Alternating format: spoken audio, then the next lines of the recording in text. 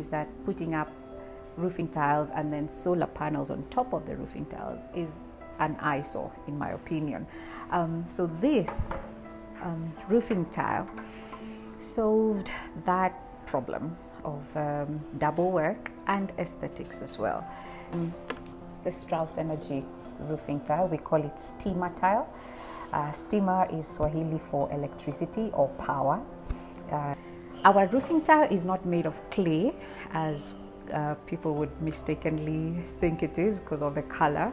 It's actually a mix of ceramic and plastic, which makes it more steady and um, it's not prone to breakages. We give you up to a 50 year guarantee on these tiles. Taken this tile through four tests. There's a strength test, so fell off from about 35 meters off ground and didn't break. We've taken it through electrical tests as well. We've also tested it for mechanical aspects on how does it function once they are connected to each other.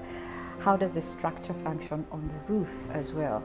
Is it as it should be? Is it what a tile should look like?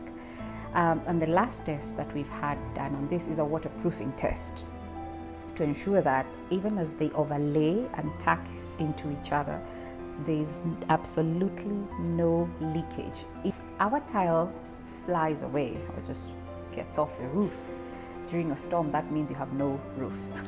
so we've ensured that um, as soon as we fasten it onto your roof, we have um, points at the very top where it's screwed in or nailed in to the roof, ensuring that it's fixed properly, that no storm, no matter how uh, I don't know, it would have to be a really crazy storm for this roofing tile to come out.